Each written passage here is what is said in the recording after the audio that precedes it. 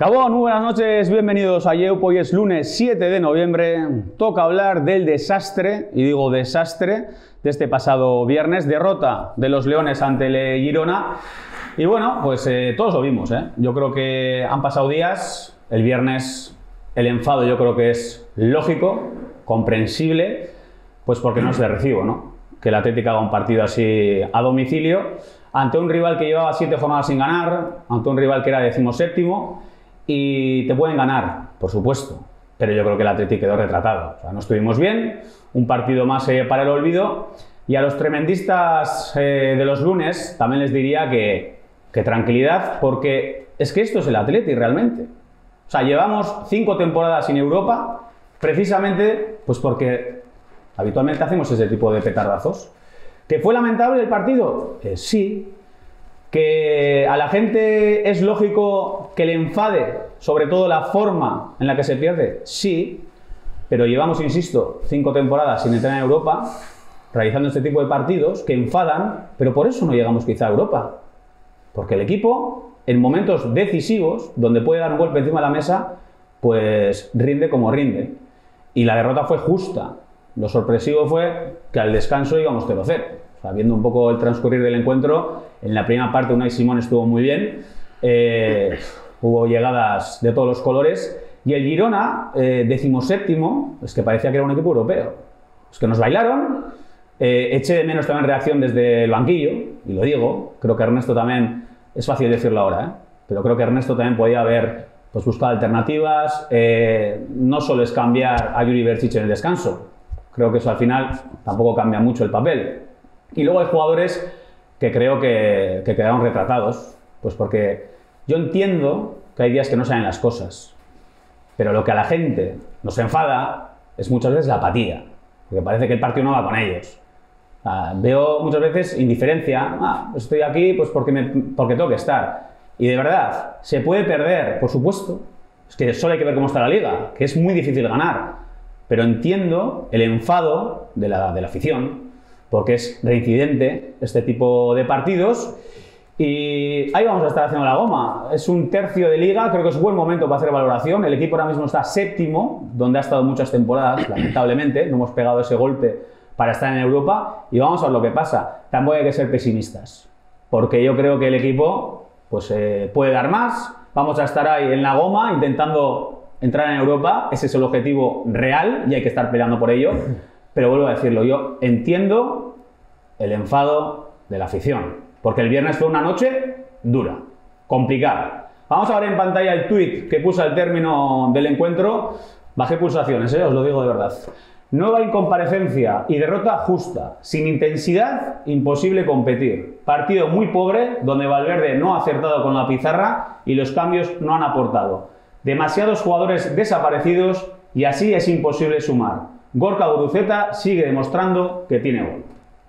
Lectura positiva hay que sacar algo, ¿no? Lo de Guruceta, por lo menos, vuelve a salir al campo y hace lo más difícil, que es gol. Marcar, buen gol además. Y hay un medio amago, ¿no? Algunos dijimos, ¡guau! Si rescatamos un punto ya. Pues que hasta el minuto 80, si realmente el equipo no va, pues es muy difícil en 10 minutos intentar subsanar todos los errores que hubo durante el encuentro. Vamos a dar la bienvenida a los invitados de hoy. Hoy comienzo por la banda izquierda, un entrenador grande, Iñaki Alonso. Por todo, ¿no? Gabón. Gabón. Iñaki, te lo tengo que preguntar. ¿Qué explicación me das tú al partido del viernes del Atlético? A ver, la explicación es eh, básicamente lo que acabas de decir tú, ¿vale? Porque el año pasado Marcelino, las mayores peloteras de Marcelino probablemente fueron esas, como un equipo era capaz de hacer lo que hacía y de repente que parecía que se desconectaba. ¿no? Yo creo que ningún jugador, y menos un jugador del Athletic, eh, sale con calificativos como apatía o falta de actitud, eso es imposible. Y sí que mm, yo al menos lo que, lo que he observado en ese partido Barcelona, yo creo que el, que el equipo o va al límite, pero al límite es a full, o o no le da para hacer eso pues, que todos queremos, que es que esté el equipo en Europa. Y luego hay partidos que echas en falta pues, a gente. Yo eché en falta a Iker Munier. Pero digo, pues porque una de las cosas que el Atlético ha hecho para mí muy bien en el arranque del campeonato ha sido el juego interior. Un juego interior con Iker Muniain, con Sancet, con Vesga, Dani, da igual, para mí era diferencial. Y eso era lo que el año pasado, por ejemplo, el Atlético sí que era un equipo que iba muy bien por fuera. Y este año yo he visto que es un equipo que ha sido capaz de jugar por fuera y por dentro. Y a mí me parece que la palabra clave es ir al límite. Y probablemente pues esas rotaciones que algunas veces igual hacemos los entrenadores y que vemos, joder, pero ¿por qué acá? Pues, pues porque ese jugador no está bien, los índices de fatiga que tiene durante las semanas han disparado, tienes que cambiar y tienes que sacar a otro. Y ese otro pues, te tiene que dar el nivel. Iñaki, todo eso más lo he dicho en la introducción. Yo quería algo más de cambios al descanso.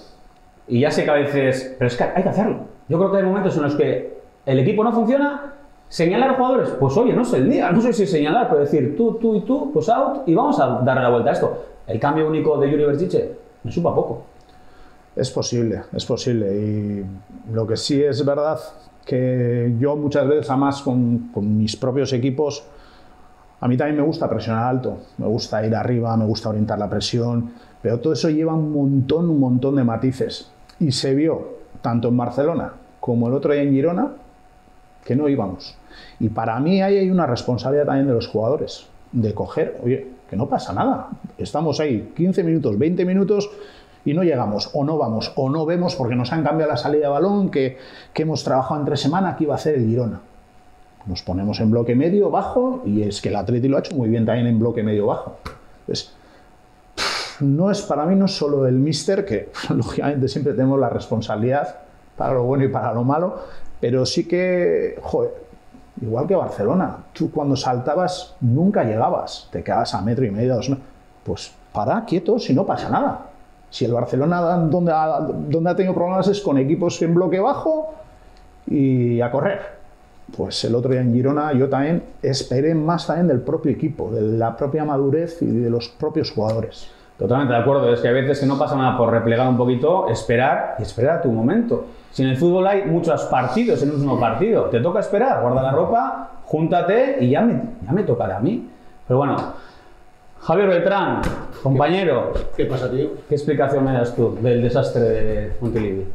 Pues es que tampoco no me gusta hablar de euforias cuando se gana ni de desastre y apatía y no sé qué y revolución cuando se pierde, ¿no? Eh, pues ahora yo creo que hay que buscar el mérito cuando se ganó al Cádiz, al Elche, este tipo de, equipos que a la medida, no sé qué, que, parecía que, que, eso era fácil, que, esos equipos son muy malos, pero el Girona, que como decías, están, puesto, están puestos de, de descenso y tal, pues, pues eh, te, dio otro, te dio otro nivel y no, no tuviste el día, no, el, el Atleti no, estuvo, no tuvo el día desde el principio prácticamente.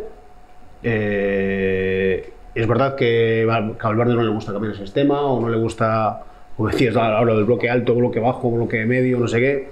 Y, yo creo que sí que le faltó, si algo le pudo faltar al equipo es intensidad, eso es verdad. Y si este equipo no, no funciona con intensidad, no, no, no va por los 90 minutos, pues es un equipo más mediocre. Javier, son más, yo no, voy a quitar mérito al Girona, pero sí voy a decir que la Atlético no estuvo bien. A mí tampoco me gusta cuando se gana al Cádiz son una banda, al Elche son una banda. Eso es lo fácil, ¿no? Claro. Damos mérito al Atleti. Pero yo sí creo que el viernes al equipo le faltaron muchas cosas. Y este equipo sin intensidad es un equipo vulnerable. Es que ahí se ha visto. Intensos, somos terribles. Es que le podemos tutear a cualquier equipo de la liga. Sin intensidad, un equipo mediocre. Y así lo digo. Y cuesta decirlo, pero es que es así. Es que este equipo vive de la intensidad. Y si estamos a full, como decía Iñaki, somos un equipazo. Muchas veces competimos que es que da gusto verles.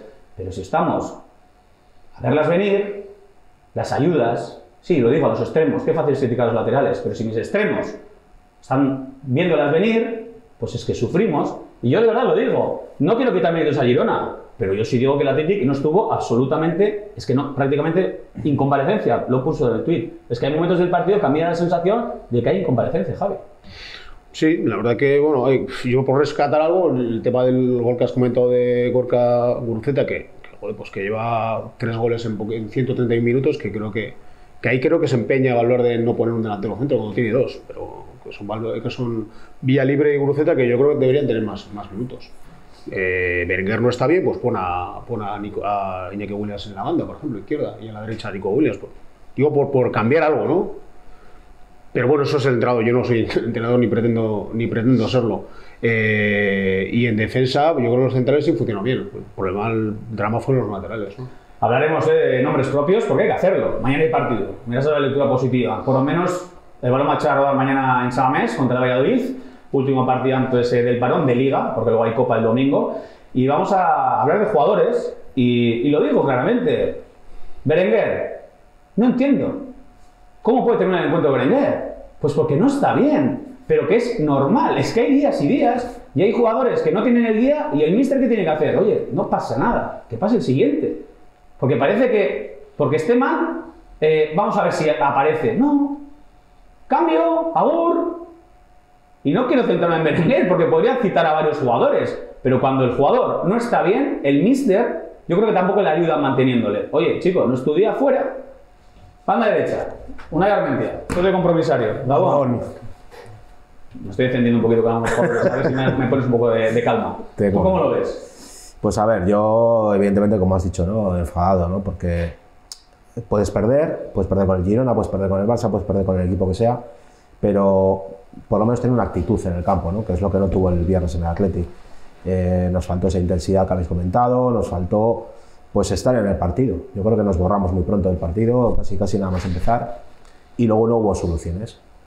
En el descanso cambias a Yuri, que evidentemente no está, no está bien, eh, pero no era el único que no estaba bien en ese partido, que estaban las cosas bastante, el resto de los, compañeros tampoco estaban haciendo un partido, eh, excepto el portero, Unai Simón, que gracias a él no nos fuimos con un 3-0 al descanso, el resto estaban desaparecidos, ¿no? Entonces te vas enfadado por eso, porque sabes que el equipo puede dar más, porque lo ha demostrado durante este primer tercio de temporada, pero el viernes no lo hizo. Y lo digo, aquí ensalcé a Ernesto Valverde del día del Villarreal, ¿eh? Me pareció fundamental. Minuto 34, hay un cambio en la presión, nos damos cuenta de que realmente hay que hacer un par de movimientos a la hora de ir. Y el partido cambia. Y lo dije, Ernesto Valverde para mí ha sido fundamental en el triunfo contra el Villarreal, porque para mí lo es. Y hoy digo que no me gustó porque no hubo una reacción. Y hay que pedirle al míster reacciones. Y con esto no digo que la culpa no sea de los jugadores. Que el míster no mete el pie, el míster no va a la disputa, el míster no, no habla, no dirige. eh, eh, los jugadores son protagonistas y ellos son los que realmente están en el campo. Pero bueno, vamos a dar la bienvenida también eh, a Juanan, a Juanan eh, Delgado, que debuta en Yeup, Gabón. Gabón, qué bien. Bueno, Juanan, conociéndote. El viernes estabas, eh, por la hora que fue, no sé si cenaste, eh, ya te fuiste a la cama. Comí un bocadillo interesante, luego te enseño la foto. Sí, porque hay que mantener las buenas costumbres. Fue duro, ¿eh?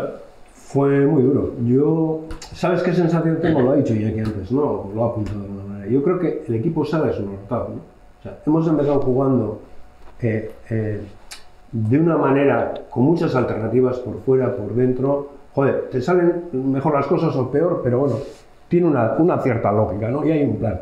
O sea, tanto en el partido con el, con el Barça como el principio con el Villarreal y el viernes, es que me, me dio la sensación de que no sabíamos lo que había que hacer. O sea, dices intensidad, vale, bien, pero si es que tiene que ser de todo, si tienen que ir todos a, la- a lo mismo, y me parecía que no está, que ah, como que había dos planes distintos, o sea, unos pensaban en una cosa y otros pensaban en otra, ¿no? Eh, no sé, a mí me gusta verle jugar a Sancet un poco más arriba, que se ha visto que ha funcionado. Me gusta ese juego por dentro, joder, teniendo la gente que tenemos por fuera para doblar y tal. O sea, creo que hay muchas alternativas, ¿no? Y, y eso es lo que más me duele de todo, ¿no? O sea, joder, evidentemente vas a perder partidos. También es cierto que eso da mérito a lo que se ha hecho antes, ¿eh? Seamos serios. O sea, lo de, joder, estos son una banda, si todo el mundo es una banda, pero luego ves los resultados y ganar en primera es, es muy difícil, ¿no? Espero que impere la cordura y recuperemos un poco eso, ¿no? Que ya sabíamos que era un riesgo, que jugábamos un poco destapados, pero joder, tal y como estaban los centrales y eso, pues oye, nos han sacado las castañas del fuego, ¿no? En cuanto a los jugadores, pues ahí, no sé, yo tengo mucho miedo de que pase lo que ha pasado habitualmente. Que Berenguer nos dure dos meses, como ha pasado en el Torino, que Yuri se recupere, que sinceramente lo veo, lo veo complicado. Yo creo que el hombre está, su, su lenguaje corporal en el campo lo indica. ¿no? No, para mí me parece que le cuesta muchísimo ponerse las botas y, y veo algo que he hecho en falta desde hace mucho tiempo en el Atleti, ¿no? Y es un líder. O sea, para hacer esas cosas que decía antes Iñaki, ¿no? O sea, alguien tiene que decir, eh, eh, quietos, quietos, parar un poco. Tiene que haber alguien dentro del, del campo, en el verde, que diga, joder, cuidado, vamos a taparnos un poco, que es lo que pasó con el Villarreal, ¿eh? Nos tapamos un poquito, taca, cambió el... ¿Acertó Ernesto? Pues probablemente, pero también se lesionó lo Celso, ¿eh? O sea, es que se dieron un cúmulo de, de circunstancias, pero compro que acertó. Pero ese cambio funcionó, bueno, pues hagamos algo. Pero no, no veo nadie en el, en el verde con ese carisma o esa capacidad de, de liderar, ¿no? Y creo que, que, es necesario, no sé. De todas formas, eh, estoy de acuerdo contigo, Juanan, eh, en el sentido de que hasta la fecha el Atlético era un equipo reconocible. Sabíamos que íbamos, que presionábamos, que generábamos por dentro, sacábamos afuera, encarábamos, generábamos ocasiones. Y lo que nos da pena es que estoy de acuerdo contigo. Estas últimas jornadas el equipo no sabíamos a lo que íbamos. En el Camp Nou, juega Zarra, ah, igual presionamos arriba. No, no pasó. El día del Villarreal, inicio, dubitativo. El día del Girona, lo mismo. Iñaki, es esa sensación, que éramos un equipo muy reconocible y estas últimas semanas, no sabemos realmente a lo que vamos.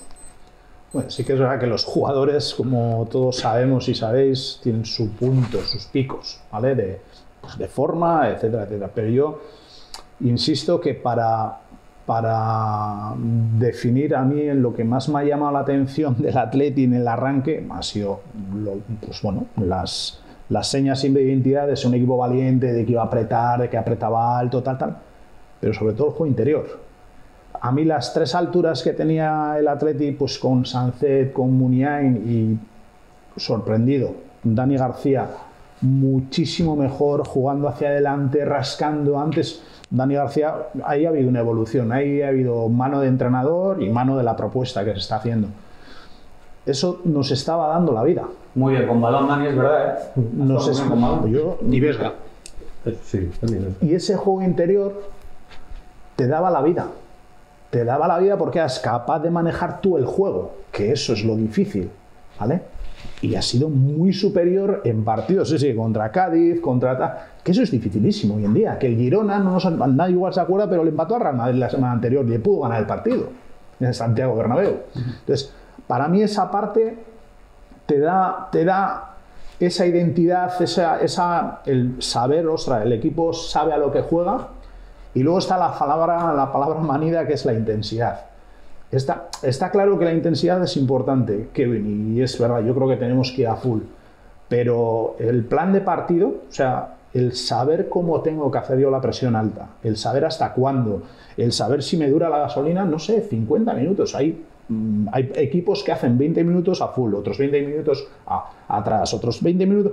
No sé, eso Joder, si Raúl, por ejemplo, que estábamos hablando de que no había líderes, no es capaz, si no lo ve él, que además lo está viviendo en propias carnes, ¿no? A la hora de ir a hacer la presión, que no llega, que tal, pues eso tiene que ser capaz de corregirlo, el, el jugador que está dentro, pero sin duda. Sí, no, no, está claro que Raúl García es un líder, lo es. Y quizá él es el perfil de, oye, chicos, vamos a guardar la ropa y vamos a verlas venir. Porque el primer tiempo, Javi, o sea, milagro, empate a cero. ¿eh? Sí, yo, yo lo, de, lo que ahí comentó Iñaki estoy de acuerdo. Lo del tema de Sánchez, sobre todo, es la diferencia un poco entre Marcelino y, y, Valverde, que el equipo es el mismo. Si os fijáis, la plantilla es prácticamente la misma. Sea, Salvo Herrera, que, que el hombre no ha podido jugar casi nada, el resto es el mismo equipo. Es colocar a Sánchez junto a, junto a Muniain por delante del- de un medio centro que puede ser Vesga o puede ser Dani García. ¿Qué pasa? Que, y, y luego Herrera que ha ido entrando también, dando también fogonazos. Lo que pasa que Herrera está lesionado, Muniain está lesionado y Dani García está lesionado. Los tres estaban lesionados para, para Girona, casualmente. Siempre nos acordamos de los que no están, ¿no? Pero hay otros en el centro del campo que lo pueden hacer igual. Y en Girona, pues, pues verdad que fue un partido nefasto, eso es, evidente. Pero creo que, que de todos los partidos que ha jugado el Atleti, salvo el del Barcelona, todos los ha merecido ganar. Eso también hay que ponerlo en valor, ¿no? Y ahora parece que es una catástrofe porque se ha hecho un partido muy malo en Girona o porque hubo unos malos minutos contra un Villarreal que tiene un equipazo. Aparte de los Celso, es que, es que todo el equipo. El Girona ves el banquillo, de, el Villarreal ves el banquillo y es impresionante. Y el Atleti al final, pues la plantilla es la que es. Que el equipo está séptimo, que igual es la- el lugar que le corresponde. Igual hay que empezar por ahí, ¿no? Que la gente era muy optimista, joder, a tres, yo le le- lees por ahí en redes sociales, a tres puntos de, la Champions, no sé qué, se va a ganar, menos que se va a ganar la Liga. Hay gente que lo piensa, no sé si lo piensa o lo dice. Me parece increíble. Esto es una carrera de fondo, y Iñaki Alonso lo sabe más que nadie, que es un entrenador. Esto es una carrera de fondo, o sea, no, no podemos hacer, sacar conclusiones a estas alturas de la temporada, aunque haya pasado un tercio. Y encima con un parón que encima supongo que la preparación física eh, varía respecto a los, eh, a los planteamientos, ¿no? Porque nunca ha habido, ha habido un parón en, en mes de noviembre, ¿no? Después, después queda toda la segunda vuelta, ojo, a ver cómo los equipos encaran esto, ¿eh? esta mini pretemporada, día, ahora van a tener 14 días libres, partidos amistosos, ¿cómo lo va a encajar esto? El equipo, yo creo que hay que tener paciencia y que el equipo está ahora mismo muy cerca de Europa, cerquísima, incluso de la Champions, pero que esto es muy largo. De todas formas, eh, es verdad que el tremendismo de los lunes, somos muy resultadistas y hay algunos lunes que se habla de Champions. Gente se ven arriba. En Sabamés contra Almería había cánticos de Champions, Atleti Champions League, Atleti Champions League. Y lo que hay que decirles a la gente es que estemos tranquilos. Ni hoy vamos a estar peleando por bajar, ni porque le ganemos al Valladolid vamos a pelear por la Champions. Y esto es una carrera de fondo. Estoy con Javi. Pero yo entiendo, entiendo que cuando el equipo, y si esto viene de lejos, llevamos cinco temporadas en Europa, cuando el equipo tiene un día para decir golpe de autoridad, punto de inflexión, zarpazo, pues no responde. Y con todo respeto es a Girona, o sea, es que no quiero poner el respeto a un club que fue muy superior, eh, estuvo bien, pero el Atlético en circunstancias normales le tiene que plantar cara, pero con muchas más garantías a un Girona que lo que hizo el viernes. Sí, sin duda. Yo creo que lo importante era llegar a este parón colocados ahí, ¿no? Estar ahí en, pues por lo menos en la muga o dentro, ¿no? Eh, vamos a ver mañana si ganamos al Valladolid, nos ponemos muy bien, te vas al parón con eh, pues, eh, contento, vas con, moral y a ver la vuelta, ¿no? Luego era importante, hablábamos el mes de septiembre que íbamos muy bien y tal, decíamos octubre, este parece que era el Tourmalet por los equipos con los que nos encontrábamos y bueno, pues estamos ahí, ¿no? Es verdad que, que el equipo se está, excepto estos dos petardazos que hemos tenido con Barça y con, y con Girona, el equipo eh, ha conseguido ganar equipos que en otras temporadas no ganábamos tampoco, que hacíamos partidos que eran horribles. Entonces, pues bueno, yo, yo sí soy optimista con el equipo, creo que a final de temporada, si mantenemos esta línea, vamos a estar ahí. Que entremos o no entremos en Europa dependerá de muchos factores, ¿no? Al final, si entra la pelotita no entra, o el equipo contrario que acierte más o menos, pero yo soy optimista, yo creo que, que llegamos a, una, a un primer tercio de temporada y a este parón colocados ahí y, con, y con, viendo al equipo jugar muy bien en muchas ocasiones.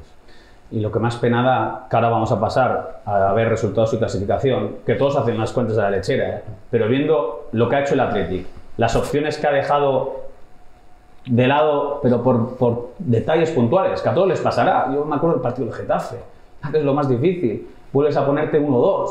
Esos puntos son los que realmente dices, es que si hubiéramos sido un poquito más eficaces, haber tenido quizá más saber leer los tiempos de los partidos, que es súper importante, ¿no? Pues es que ves la clasificación, ahora la vamos a ver, ¿eh? Pero Juanan, es que da pena. Pues sí, pero, pero somos el Athletic.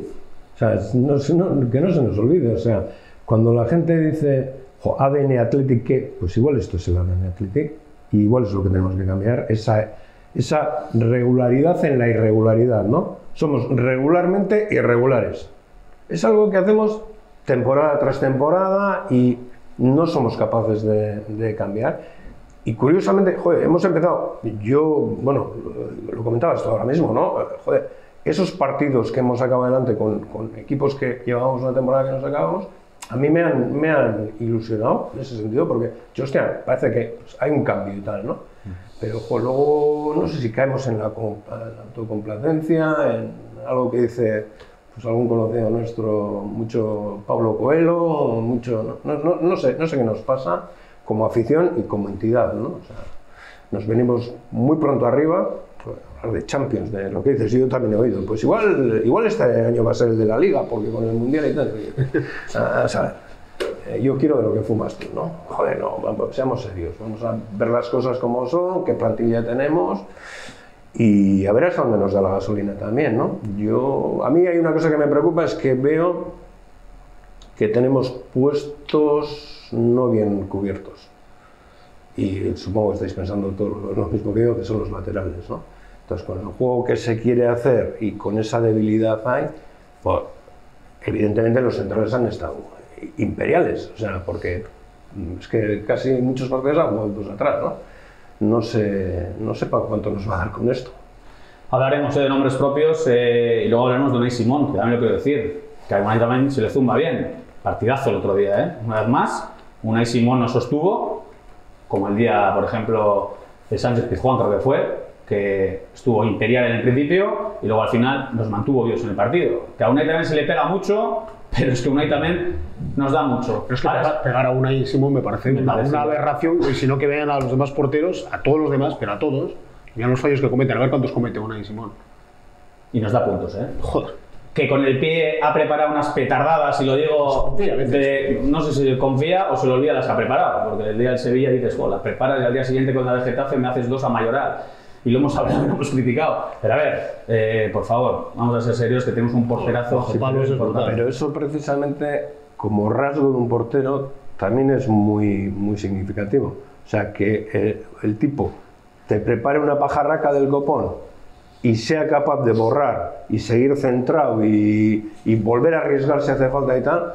Hostia, eh, eso es de valorar, bueno, acordaos en el Mundial, es que en, el, en la Copa. En la Copa. Luego con el pie ha mejorado muchísimo. ¿eh? Y- También- mejorado. tampoco se dice, pero con Y el pie. Es verdad que a veces arriesga demasiado, pero con el pie. Igual también le estamos- golpea, golpea fenomenal. ¿eh? Igual también le estamos exigiendo. Claro. eh, Pues que es un portero, no es un Mira, lo jugador. suelo recordar, el día de contra Croacia, en la Eurocopa, que fue ese fallo en una cita, salida, pues, sí.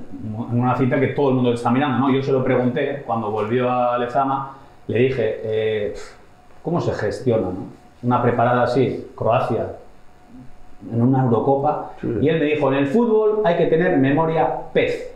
Cuando te pasa eso, borras y luego fue decisivo, porque contra Croacia Sí, tuvo dos tres tres manos fundamentales y esas cosas yo creo que la han hecho madurar, Iñaki, y eso es un máster. Pero Ah, no es casualidad. Yo creo que sea portero del Atleti y portero de la selección española. Claro. Estamos hablando de un Cabeza está muy superdotado. Mentalmente, físicamente y bajo los palos. Es que es muy bueno. Es un portero muy completo.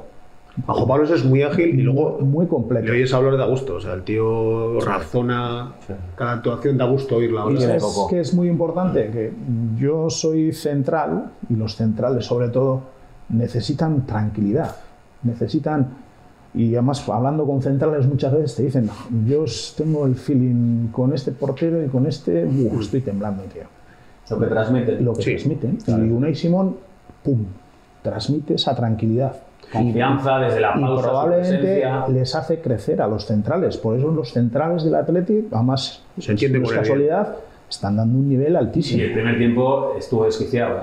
La que se le abren, la falta que se le abre, que saca una mano ahí milagrosa, Sí. les echa un berrido que se los come, pero com- como, tiene que ser. Y busca un poco la reacción de decir, oye, chavales, ¿qué pasa aquí? Y si te fijas, ha habido muy, pocas muy poca descoordinación entre los centrales y él.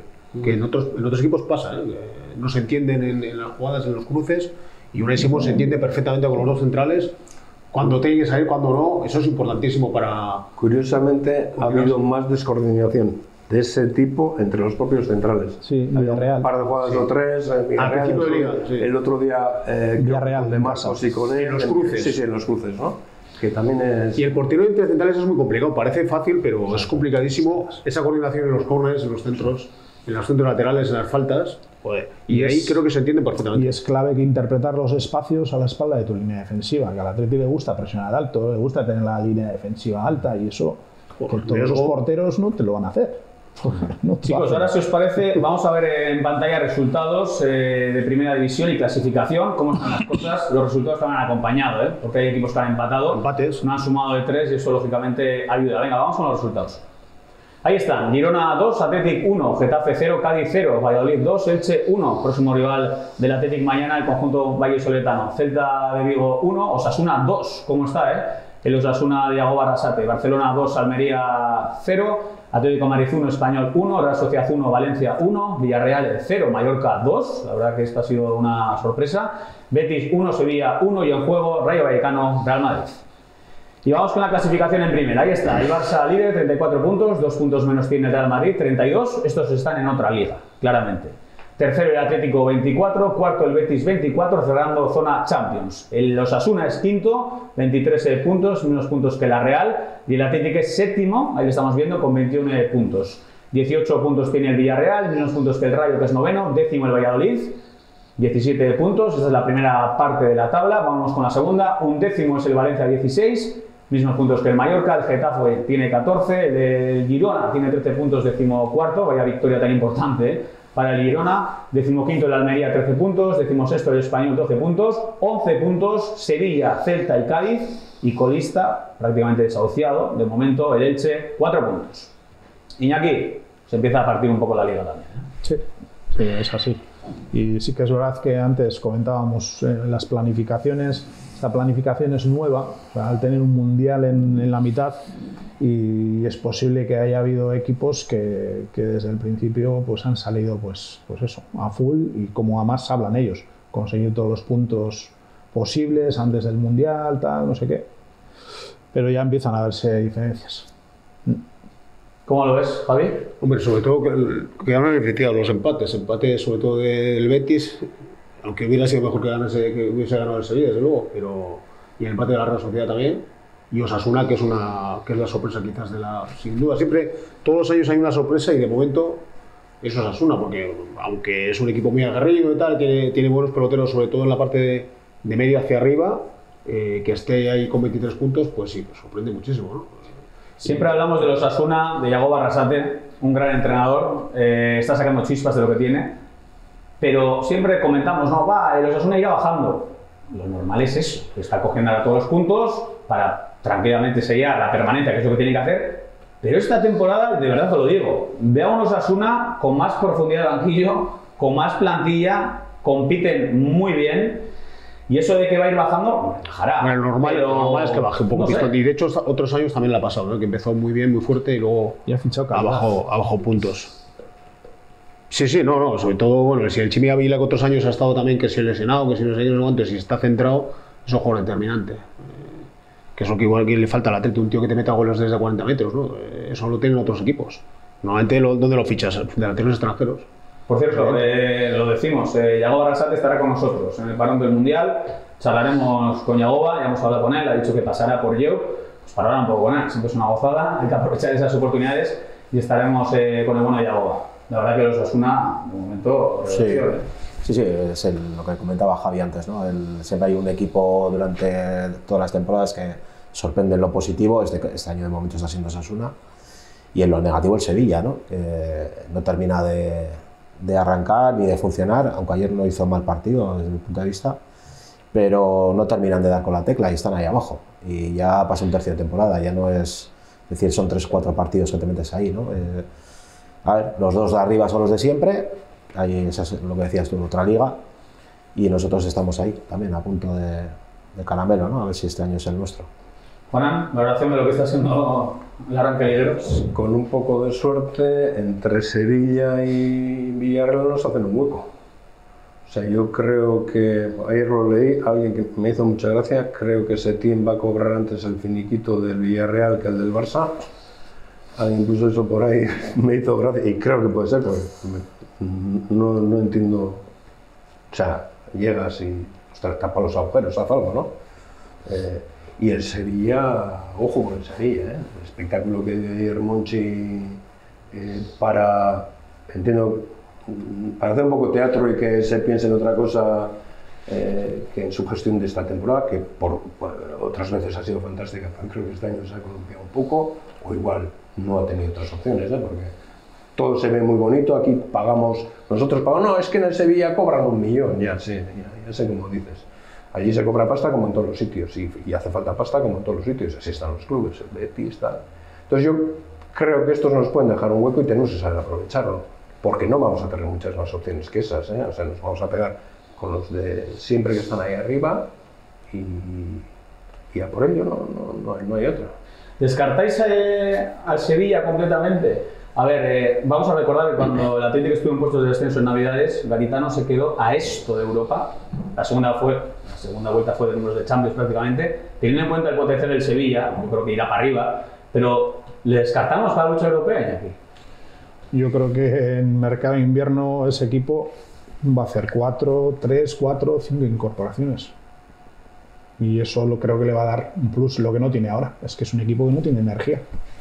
En mi humilde opinión, nadie vale espacio, nadie corre. Es un equipo de que todo el mundo quiere al pie, jugadores ya muy veteranos en algunos puestos donde tienes, previsibles. donde tienes que tener tralla. Cuidado, Centrales lentos también, ¿no? cuidado. Y atrás es que te has cargado por ventas a los mejores centrales de. Luego está Fernan- Fernando, el medio centro que era medio equipo también. Y estos equipos, eh, joder, si la gente, la masa social, el club no van de la mano, la presión se multiplica. Y la presión en esos equipos es destructiva total. O sea, cuidado que no aciertes encima del mercado de invierno. Sobre todo si el Betis está arriba. Que encima todavía después de más ahí, no, ahí, ahí es Es una situación complicada, ¿eh? compleja, muy compleja la que tiene el Sevilla y además yo creo que es bonito de ver, a ver cómo lo gestionan porque, porque uf, ahí tiene que haber mucho cambio. Luego también les han dado un dinero como a todos, han metido en esta cosa rarita, que les dan un dinero de antelación, eh, está en una situación muy mala. Institucionalmente, me dicen, a un amigo que tengo por ahí, locura total entre ellos. Monchi, que ha sido el salvador, el que gestionaba las plantillas como nadie, era un ejemplo a nivel mundial, pues le quieren zumbar todos. Entonces el fútbol es complicadísimo, cómo puede cambiar de la noche a la mañana. El fútbol no a tiene, no tiene memoria Totalmente. presente. Fútbol es hoy, es verdad, lo de ayer nos da igual. Eh, ahora, si os parece, eh, vamos a ir eh, a la sección titular Suben.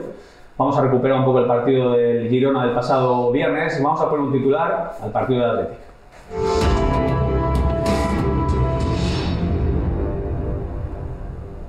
Es que el casco a construcciones eh, la Suben. Comienzo por banda derecha. Juanan, titular del otro día. Pues más de lo mismo. O sea, algo a lo que estamos acostumbrados. Sabemos que nos va a pasar tres, cuatro veces por temporada. Bueno, llevamos dos. O sea, tendremos que esperar otras dos. Es así, ¿eh? O sea, para lo bueno y para lo malo. También haremos partidazos de estos que nos ponen la, la piel de picos pardos, ¿no? No sé. Pero esto, absolutamente predecible.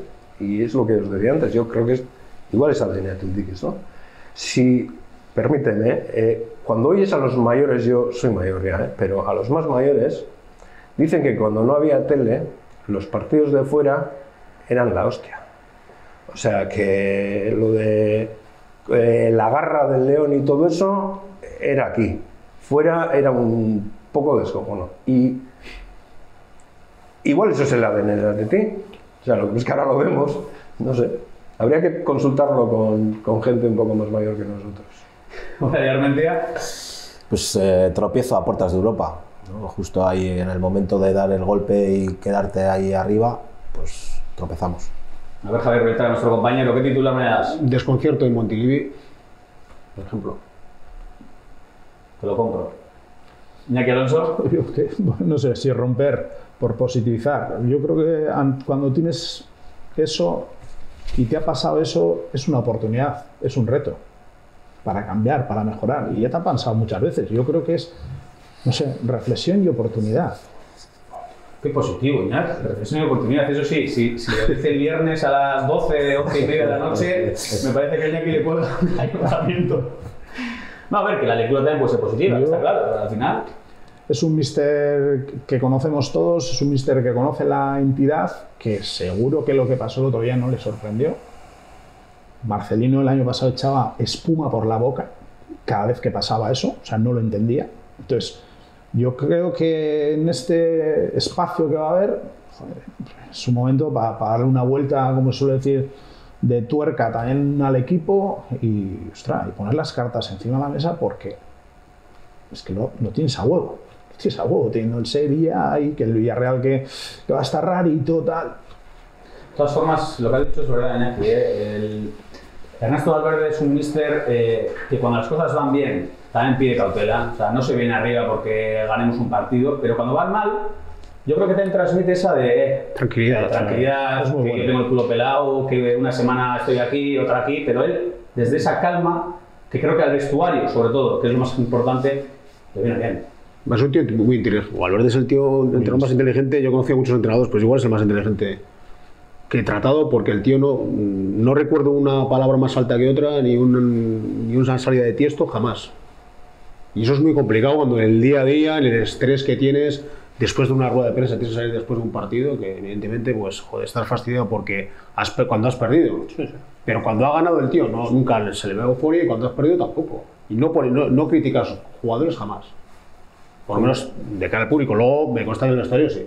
A mí también me Y luego consta, tiene ¿eh? mucha personalidad dentro del vestuario. Pero fuera, el tío eh, contemporiza. Eso, eso- Javi, lo que has dicho, me consta que cuando Ernesto levanta la voz, Hombre, dentro del vestuario, por supuesto, algo Tiene tiene que ser, ¿eh? Oye, que ha entrenado al Olympiacos, ha entrenado al Barcelona y al Valencia y al Villarreal, ¿eh? Ojo. Es Estamos que la gente igual se ha olvidado. Para mí estamos un entrenador. Claro, top. la gente se ha olvidado Top, del top. currículum de este tío. Lo que pasa es que como es un tío discreto, entre comillas, fue un jugador muy bueno, internacional también, también un jugador discreto, porque no levantaba la voz, parece que este un lo que hizo en Barcelona. terrible. Pues ¿Qué dos ligas, El una copa. cataclismo que pasa para que le reconozcan Lo que pasó, con claro. lo que tenía, una pérdida de esos jugadores, tal, tal, hizo que el equipo compitiese y ganase ligas títulos. y ganase títulos. No le perdonaron en Europa, claro, pero es lo de siempre. Es que quieren ganar todo. Ahora, ya parece que ahora los resultados de valores se han dado cuenta que para Europa no les da. Claro, no, no vale para todo. Y creo que apagó grandes fuegos en el vestuario. O sea, Vestuario lleno de Neymar, ¿eh? Entrar en aquel vestuario tenía que ser.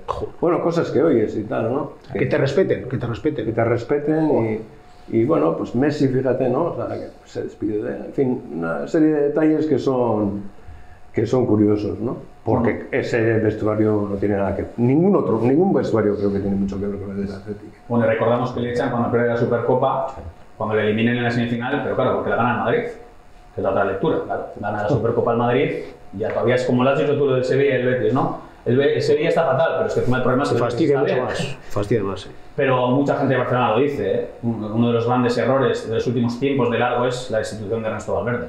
Y ahora se acuerdan de él, claro. Bueno, y luego también cuando un entrenador lleva mucho tiempo en un lado, pues eh, quieren, la gente quiere caras nuevas. Eso yo lo sabía aquí perfectamente, ¿no? Que se cansan del entrenador que hay. Quiero otro como si fuera mucho mejor. Y luego aquí, la última temporada de Ernesto también fue triste, porque fue triste.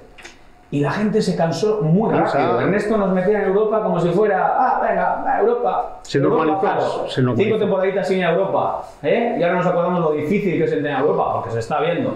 Pero es verdad que la última temporada con Ernesto dio la sensación de, prof, ¿no? Joder, eh, acuérdate los últimos partidos en San Mamés, las primeras rondas. Vamos a ir a ver al, no sé qué, al Tbilisi che, Aquí si no venía el Manchester o no venía el Bayern, pues.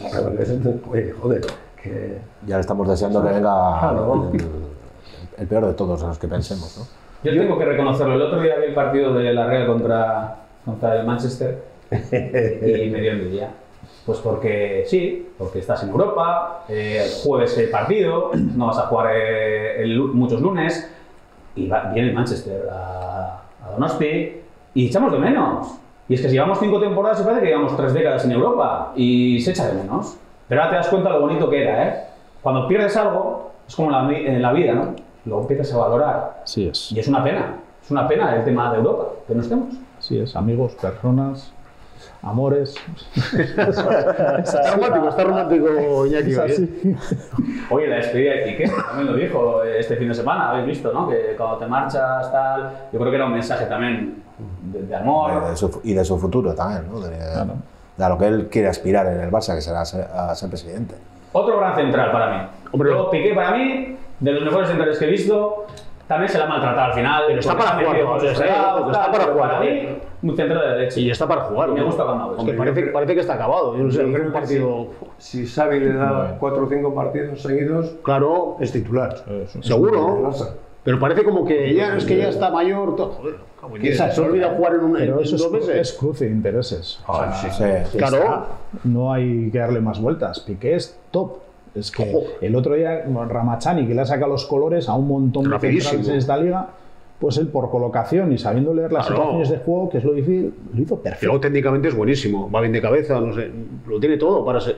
O sea, tampoco es un. Pero también él, yo creo que por otras circunstancias ha querido apartarse, porque tiene otras, otras inquietudes, otras ambiciones. Hombre, que volverá de presidente, creo que lo Hombre, tenemos claro, eso está clarísimo. Y el otro día hay una imagen que yo creo que delata, ¿no? Eh, en Mestalla tiene que salir al campo y estaba con las chancletas, eh, con las botas eh, sin poner, Atadas. y, ve- y va a Busquets y empieza a morder el, el cordón, a ayudarle a... A soltar las botas. ¿eh?